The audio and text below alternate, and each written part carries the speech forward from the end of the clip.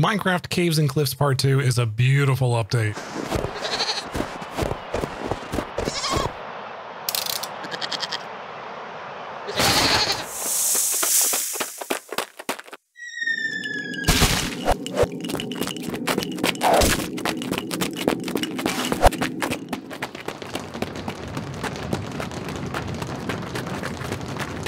Minecraft Caves and Cliffs Part 2 is a dangerous update. Just look at my suit. It is so beat up. We're going to have to go ahead and get a new one. But the first thing that I want to do today to make things a little bit safer is to build some bridges over these ravines that people keep falling in. So we're going to team up with the Frog Queen and uh, take care of that. I put it very safely up here so you won't This- hurt this yourself, okay? Terrible block. It's safe. I I will forever Um, hold a grudge against that block. I have no good reason to. I just hate the block for no good reason. The Frog Queen thinks we're building bridges, but I just want to convince her that the Stonecutter is not a good block. I'll, if this thing could work with wood and give me like eight trap doors at once for, for like a piece of wood, then it would be my favorite block in the game. Okay, I mean, I agree with that. Okay, she agrees. So we're off to a good start on the Stonecutter convincing. Deepslate buttons, is that a thing? I can't even remember. I don't think so. No. See, that's another so reason why either. the Stonecutter is terrible. It doesn't give you deepslate buttons. Uh, okay, no. No. She's resisting, but I think we're making progress. Let's talk about the safety of the bridge so she doesn't start getting suspicious of us. Um, But yes, this looks like a very safe bridge. I mean, yeah, I think so. Very trustworthy. Everyone's going to love it. No one's going to question its safety. That that makes me feel good. Wait, are you being facetious? No. Good. I think we got her away from being suspicious of us. Let's go start on the other bridge and give her some space and time to think about all the things I've said about the stonecutter so far. All right, I've moved everything over. I left your your stonecutter block alone as requested. Oh, why, thank you, sir. Oh my god, you left the stone cutter here. Yet you told me to leave it alone, so I did. I thought you were taking it over. I meant leave it alone emotionally, but it's fine. I didn't mean abandon it in the air floating. All right, so her attachment to the stonecutter is maybe a little bit stronger than I realized, but maybe we have made a little bit of progress. At the very least, we did make two very nice looking bridges. Let's go check them out. The first bridge we built here was mostly designed by the Frog Queen. We went for a very rustic look here, adding in some droopiness and broken up bits to the bridge. Spruce was the main palette here, but we mixed in some trapdoors and campfires to help really enhance the rustic feel of it. And if you're not careful, you may find yourself walking right over the edge of the bridge and falling down to your death. The second bridge is right over here and was built mostly by me. I took a lot of inspiration from the Frog Queen's bridge, giving it a slight droop and trying to keep up with the rustic look. Once again, lots of spruce, trap doors, and campfires, and this time a much safer bridge that you're not going to fall to your death on. With the two bridges taken care of and the area being a little bit safer to travel through now, I decided it was time to move out of the mountains and down here into the plains for our first starter base. I don't know what it is about the caves and cliffs update, but it made me just feel something about adventure and travel and kind of being like a little bit of a nomad. So I felt like a, a, a wagon was the perfect starter base, especially one that was able to hide all this storage in with the walls here. We went with a pretty similar color palette that we used for our bridges as well. I was playing a lot of Stardew Valley, so I took some inspiration of the traveling merchant cart from that, as well as a post I found on Pinterest. I'll link that in the description if you want to check it out. But it's about to be nighttime and we need to find a bed. Ow. Run away. run away. I'm not prepared for this. All right, we're just gonna have to run, juke, and jive. Yeah, but I think right up here by Allraff's trader tent, we have a couple of beds. I think there's like a red bed and a yellow bed over here, or some creepers. There's a purple bed. Um, yeah, this is no good. this is not safe. Yes, there is. There's a yellow bed inside of storage. Perfect. Oh, hello, invisible spider. I don't see you. Don't blow up. Don't blow up. There we go. I had a little bit of trouble with the roof. I couldn't quite remember exactly how I do it, but eventually I got it, and then I had to keep dealing with creepers. I was worried that spider was, uh...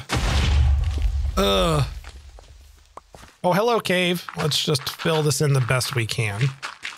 With the creepers dealt with, I got back to the car, adding in some wheels so it was no longer floating there, and the chat started making fun of it, calling it a traveling puppet show. You can do that here. You can stand inside and be like, oh, hello, I'm Bowtie Daniels, and I'm here to be your puppet master. Ah! All right, enough with the jokes. We're back to working on the wagon. We're adding in a cart in the back section here. I'm not sure what I'm going to do with this area. So if you have any ideas, put them in the comments down below. And with that, our starter base is complete. There are a few things I also added into the build, not in the time lapse. So Let me go ahead and show you around. First off, we did a little bit of texturizing, and throwing in some oak logs and a bit of polished deepslate as well as deepslate bricks in here. We also did an interior. We used some green moss carpets here on the floor. We also did some of the uh, the spore blossoms hanging. And what I did not know you could do, but just learned while doing this is you can actually hang them from chains. That's super cool. Yeah, so I wanted the interior to be very green, very lush, very alive. So we got a couple of bushes in here. There's a potted azalea plant over here as well as back here and a couple of paintings just to complete the look. We also have all these barrels on the side of the walls that we're able to use for our storage. So it's a nice way to get space in here for storing things without having to take up any of the interior room. Look, I got so much room for activities inside here now. The other thing you may have noticed is this. This is my horse. My horse is amazing. I gave him a name. His name is Sir Raisins. Yeah, this is a small little stables that I've put together. I've used this design in a couple of different places before. But the thing that's really nice about this design is this right here, you can walk in and out, but for whatever reason, the horse doesn't know it can walk in and out. You can also ride in and out, no problem, without hitting your head on anything and taking any damage. So that is a nice little tip for you if you want to make a stables of your own to keep your horses. You also have a second stall right here. I'm thinking we're going to put a donkey or a mule in here. And that way we have transportation with storage built right in. And it's raining. The other thing you may notice that I am fully decked out in diamond gear now. We had a lot of fun doing that on stream. We traveled out a couple hundred blocks and the first thing I did was jump into this big old cave, mined up a bunch of coal. We got about two stacks there. Wasn't too long before we found our first bit of diamonds. We continued forward and ran into this dungeon here where we got some pretty good loot, like this looting three book. Continuing forward, we explored more of these beautiful caves. I just cannot get over how wonderful and how amazing these caves are in the Caves and Cliffs update. We got more diamonds and then some more diamonds, and we came into this even bigger cave where a couple of zombies decided to come in and try and ruin my day, but we made some pretty quick work of them. From there, we moved on, explored a couple more caves before we finally came to another dungeon, and then this happened. Should be enough light. Anything good in here? Woo! Check it out. We got an enchanted golden apple. After finding the golden apple, we stumbled into a mine shaft that had a whole lot of diamonds. There were so many diamonds in there that somehow I completely forgot to even pick this one up right here. So go ahead and leave an F in the comments for this forgotten diamond. You'll be missed. With that many diamonds, I decided it was finally time to get out of the cave and start making my gear, and then tragedy struck. Ah! With that explosion, I lost all my diamonds, but I did keep my looting 3 book and golden apple. Next day, we returned to the caves equipped with a Fortune 3 pickaxe, and we brought an ender chest along with us this time so we can store our goods along the way. We quickly got to mining some copper because we started off in this awesome dripstone cave. We got a whole lot of that. And then we moved on to deeper levels where we started our diamond mining, and that was doing really good with the Fortune 3 pickaxe. Uh, we did find this piece of lapis, and I decided to try the 117 trick for finding diamonds. Uh, unfortunately, that did not really work out for us, but we did come across this awesome mine shaft where we did find plenty of diamonds. So maybe the trick does still work. I don't know, but there were more diamonds to be found over here. And then we moved on and found this dungeon. Unfortunately, this dungeon wasn't great loot, but we did have fun in the next dungeon that we encountered here because it was a double dungeon with zombies and skeletons. I just kind of sat there and watched them fight back and forth. Had a good time watching that. I do think the zombies won this battle. We moved on from the mine shaft and stumbled across this amazing aquifer. I spent a lot of time swimming through here, just having fun enjoying and exploring it. But let me tell you, swimming through this aquifer was such a good way to find diamonds. Almost around every corner I turned, there was a diamond. I picked up those, I would turn around, and then there were more diamonds. And then I would swim a little bit further, and guess what? There were more diamonds. It was such a good place. Uh, the aquifer led to this big old cave where I took out my spyglass and decided to scope around to search for some more diamonds and plan out strategy of attack. I used my end chest to drop off all the goods I collected so far to make sure that if I was facing any danger, I would not lose anything.